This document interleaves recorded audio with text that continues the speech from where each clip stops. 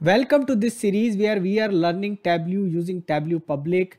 So continue with my channel and learn Tableau and YouTube steps are say showing me that you have not subscribed to the channel. Only 20% of the people who are watching the videos have subscribed to it. So subscribe to the channel so that you can get latest notification and new videos.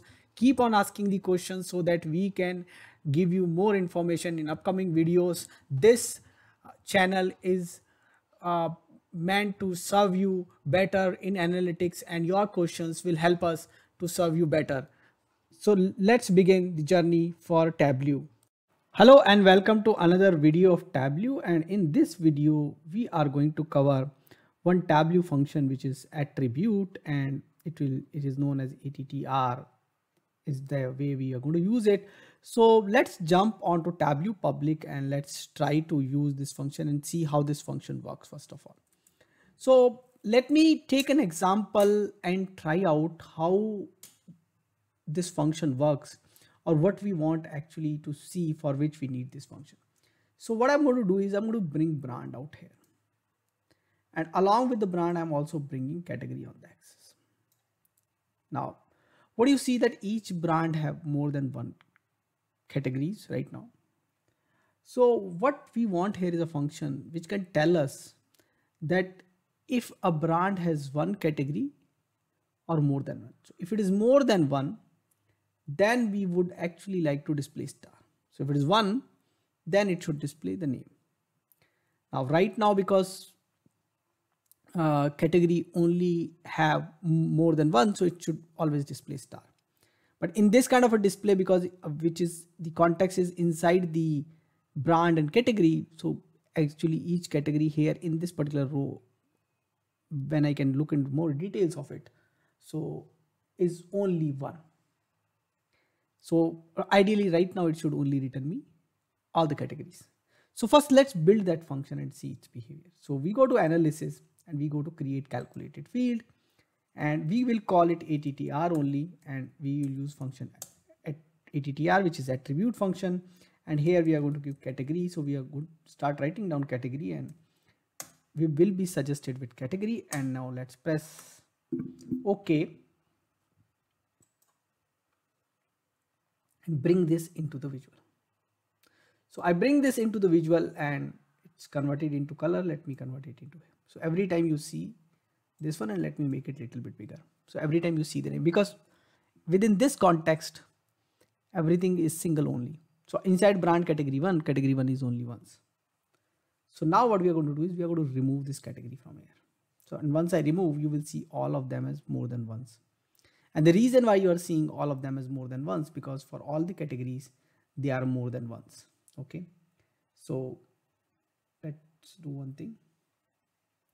Let's do a little bit more tricks.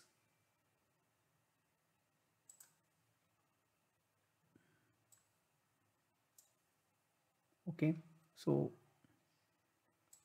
let me expand this. So now you're able to understand why we were getting more than one. So now what let me let me do while we are looking into this one and we we go to look at at, at also. So okay. So what i'm going to do is now uh, we looked at the category and we looked the attrib as a details and you are able to understand that why we are not getting let me bring back the attrib uh, category back and let me now put the category as filter. And you might have noticed that few places we have this category 4 which is causing the second category and i'm going to exclude this now so once i exclude there would be certain things where i'm going to get this category as single. So now with this filter so this is the table operations and uh, we have this uh, aggregations operation. And this aggregation operation which we are doing right now is giving us only one value and this one value is displayed and there are more than one value which is star. Okay?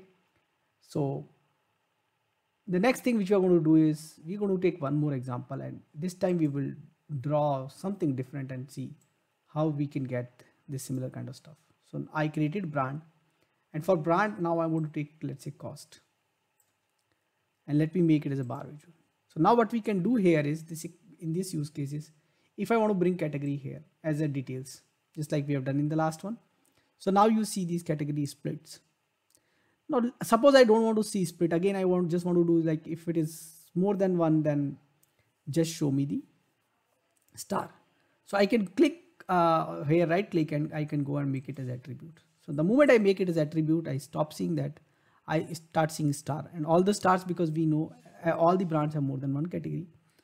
We will bring in the filter again here in this page also and then we say exclude category 4 and once we exclude the category 4 uh, we start getting this. Okay first three we know that the first three is having single category and all others have more than one categories other than brand 12 which is also having one category. So we are able to see that. So uh, this is how we can use the attribute uh, function. So go ahead and try that out. Do let us know what else you want us to cover in this particular series. Thanks for watching this video. Thank you get involved. Keep asking questions in comments. Subscribe to this channel and press the bell icon so that you can get notification of our new video. Keep watching